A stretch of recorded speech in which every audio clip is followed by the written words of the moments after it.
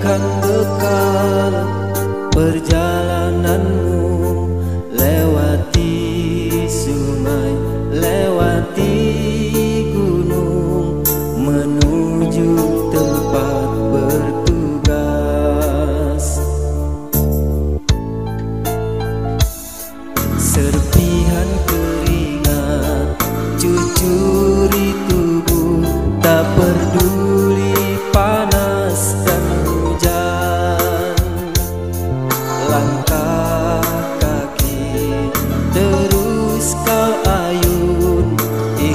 Ikhlasmu tak